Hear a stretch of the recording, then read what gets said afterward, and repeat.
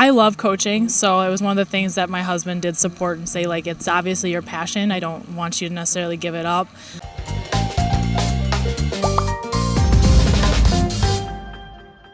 I'm Diane Mocha.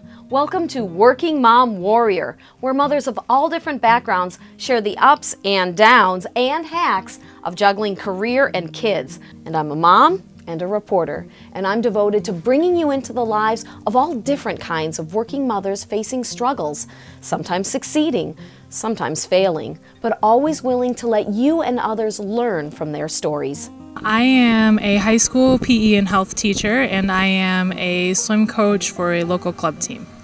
We want him to grow up admiring the fact that um, mommy and daddy work hard. And they work hard and for what they want, and they work hard for what's best for me. So your husband works full time? Yes. Does he have another job? No.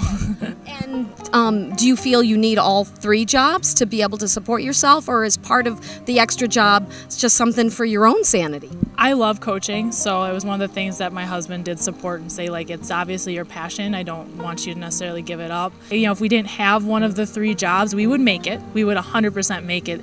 It's part of a passion thing, but it also gives us a little extra cushion. When when my my toddler was going to preschool and you know spending half the day at home and half the day in preschool, then I knew that I could go back to work full time. And did you feel like you were a little behind? I actually was part time in my career for like 15 years and I definitely felt I kind of stalled, you know, and saw all these other women who were single and no kids pass by me. Certainly. Um, you know, there was a time where I felt like maybe I should just stop. Like this was the end of the road and I just needed to maybe find something else. And you know I relied heavily on on my degree to maybe open up those doors but I knew that if I just stuck through it I mean it's what I love to do at the same time. And you know there was an opportunity for sometimes me to bring my kids to my work site if I needed to or you know I had a lot of flexibility. So I just had to continue past those conflicts and challenges and press on. And I did. So you weren't working because you had to. It was why was your career important? What do you think would be missing in your life right now if you had just sort of, like you said, given up and I'll just stay home for ten years?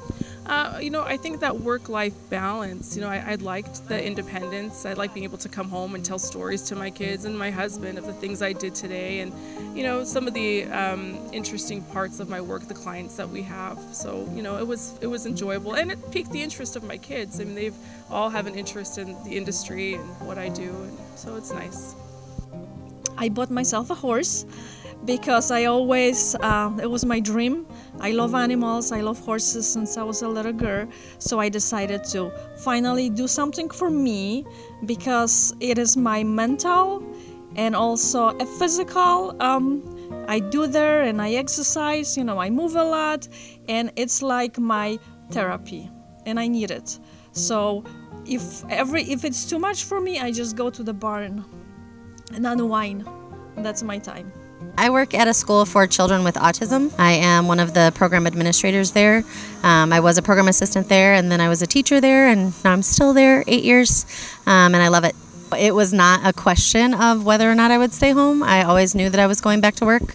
Um, we had something called Tiny Steps where you could bring your child to our uh, corporation, and then there was a little daycare inside. Um, so that made it a little bit easier. I am a environmental education program manager. I've done it for about 20 years, and, and I basically oversee outdoor education programs. So you enjoy what you do? I absolutely love what I do. Absolutely love what I do.